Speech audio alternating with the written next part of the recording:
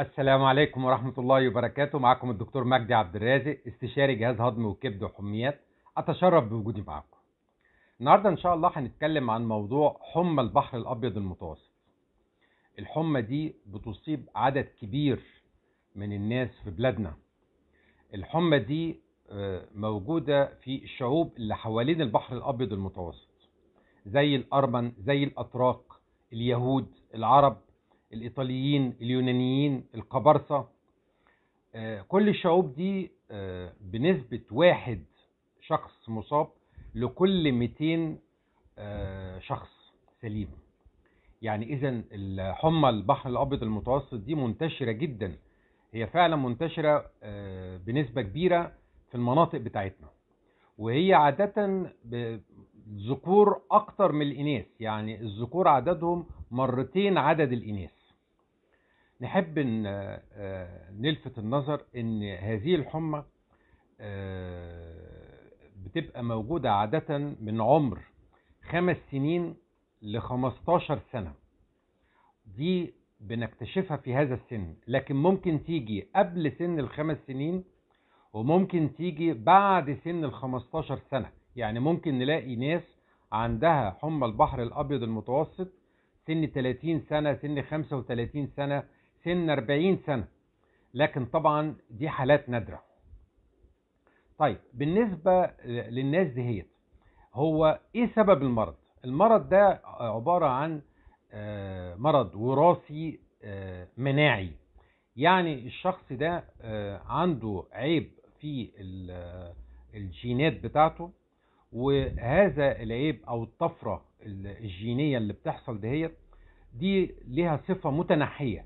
يعني مش شرط الآباء أو الأجداد بتكون تعاني من هذا المرض لأن دي ممكن تيجي من الجدود ولكن مش كل الأجيال بتعاني منها. هذا المرض نتيجة عيب آه، أو طفرة في جين معين. الجين ده على كروموسوم معين. آه، ال- الجين ده إحنا بنسميه FV وهذا الجين هو اللي بيتحكم في بروتين معين اسمه ال pyrin. والبروتين ده هو اللي بيتحكم في السيطرة على الالتهابات. لما بيكون في خلل في هذا الجين آه، بيطلع بروتين معيب. يعني البيرين اللي طالع آه، لا يستطيع إن هو يتحكم في الالتهابات. وبالتالي بتحصل النوبات المتكررة آه، في هذا المرض. طيب آه، بالنسبة لهذا ال- ال- ال- المرض آه، إيه هي الأعراض؟ الأعراض هي عبارة عن نوبات متكررة من الألم الشديد عادة بتبقى في البطن بنسبة 95% لكن ممكن تبقى في الصدر ممكن تبقى في القلب ممكن تبقى في المفاصل. آه، ال- ال- الأعراض دي بتبقى مصحوبة بأعراض تانية غير الألم. يعني ممكن يكون الشخص ده عنده ارتفاع في درجة الحرارة. ممكن الشخص ده من الألم الشديد ما يقدرش يتحرك من الألم اللي في بطنه. لو جه في الصدر ممكن يكون مش قادر ياخد نفسه. لو جه في القلب المريض يشعر بإن هو آه، هيموت أو مش قادر آه، يعني يتحمل هذا الألم. ولو جت في المفاصل المريض مش قادر يتحرك من وجع المفاصل ممكن تيجي في مفصل الكاحل أو مفصل ال- ال- ال- الفخذ أو مفصل الركبتين. طيب. أيضا ممكن تيجي في الخصيتين. آه، نحب نعرف إيه هي الأماكن اللي بتصيب البطن أو الصدر أو القلب؟ هي بتصيب عادة الأغشية المبطنة. يعني المرض ده بيصيب الغشاء البريتوني المغطي للأمعاء.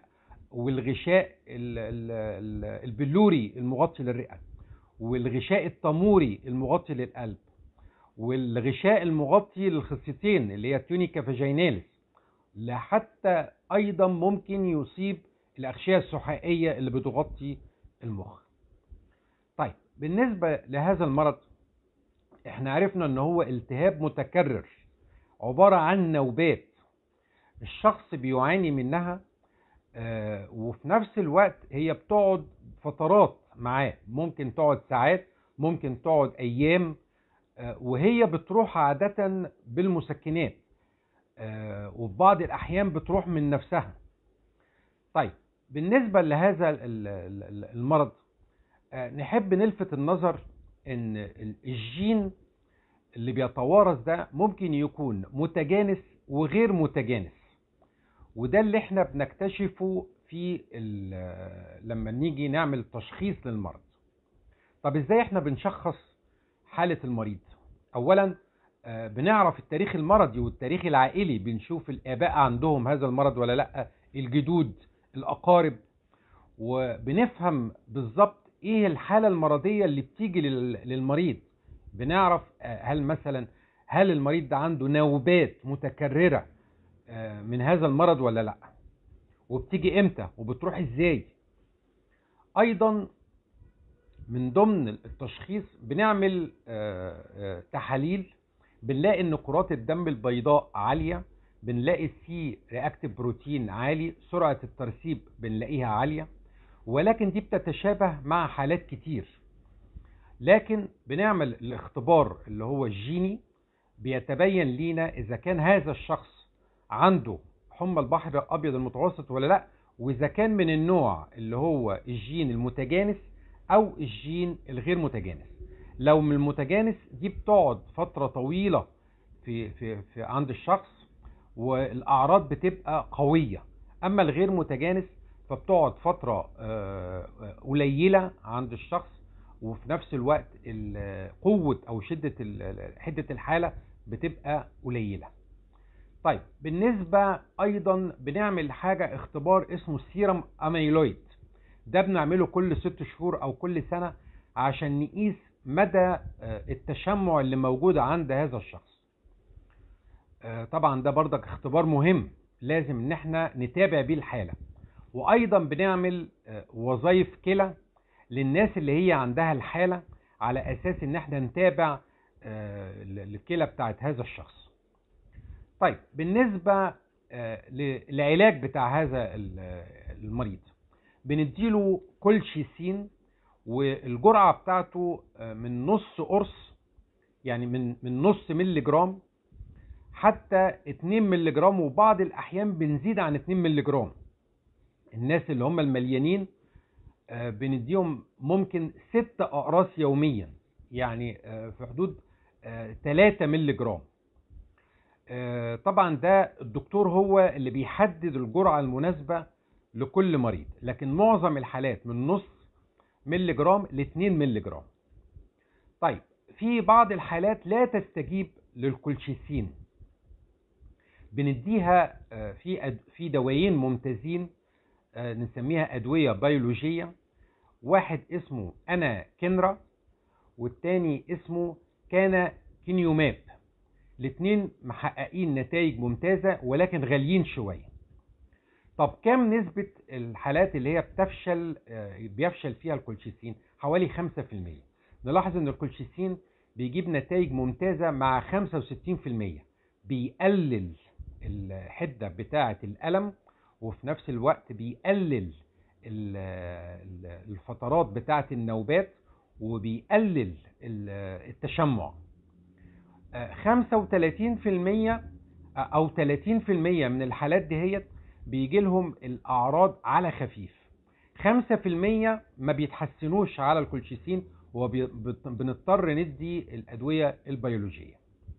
طيب بالنسبة لهذا المرض مع الأسف الشديد من صعوبة التشخيص بتاعته لأنه ساعات بيجي في الأطفال الصغيرين آه، آه، يعني أقل كمان من خمس سنين وفي بعض الأحيان الأطباء آه، بيتلخبطوا فيه وممكن يعمل عمليات زي آه، مثلا آه، التهاب الزايدة ويشيل الزايدة أو التهاب المرارة ونشيل المرارة وهو المريض ما عندوش الحاجات دي ده هو عنده حمى البحر الأبيض المتوسط. في بعض الأحيان أيضا ال- ال- السيدات بيبقوا حوامل. هل نستمر على الكولشيسين ولا لأ؟ أيوه نستمر على الكولشيسين. وده طبعا متروك لمتابعة الطبيب. هو اللي بيقرر إمتى يستمر وإمتى يتوقف. في بعض الأحيان الكولشيسين بيعمل آثار جانبية زي مغص وإسهال. في هذه الحالة بنوقف الكولشيسين وبنبتدي نديهوله ندي للمريض مرة أخرى بالتدريج.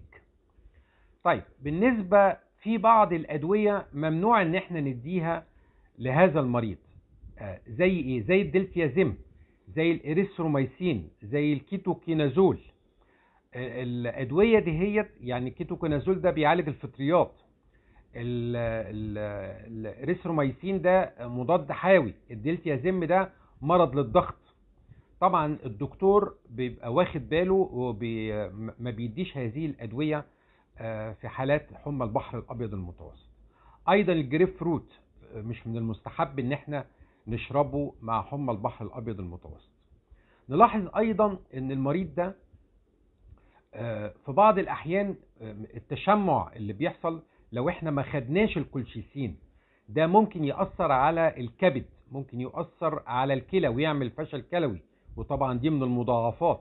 ممكن يؤثر على القلب ويعمل هبوط في عضلة القلب فلازم إن إحنا نستمر على الكولشيسين مدى الحياة. لأن ده بيقلل التشمع والمضاعفات بتاعة المرض.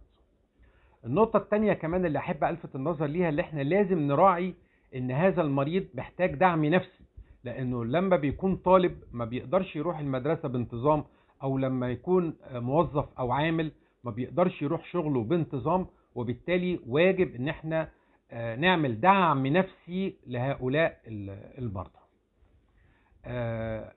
أرجو أن كنتوا تكونوا آه، استفدتوا من آه، ال- ال- الفيديو. أشكركم جزيل الشكر. والسلام عليكم ورحمة الله وبركاته.